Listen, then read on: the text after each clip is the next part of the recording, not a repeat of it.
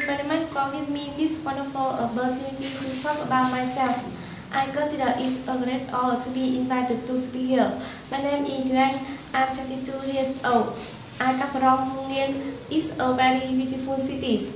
My English used to be very bored and I felt terrible about myself. I even consider it a great honor to.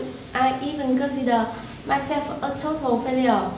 Uh, I had no goals, no dreams, and no hope for the future. Um, but when I started at Hung Yen English Central, I began to change. I started to realize that life had meaning. I could control my future and influence other people.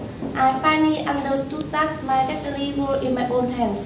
So that my so that I get up early every morning and yell English. Uh, I start.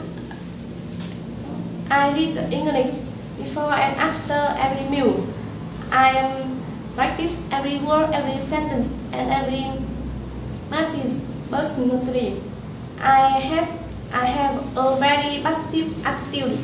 I am I'm disciplined and I have a good habit. I always try my best to influence the people around me. Uh, mm, and now every my pronunciation gets better. Every day my vocabulary increases. Every day my confidence grows. Every day my uh, I help more people. Hung Yen English Central.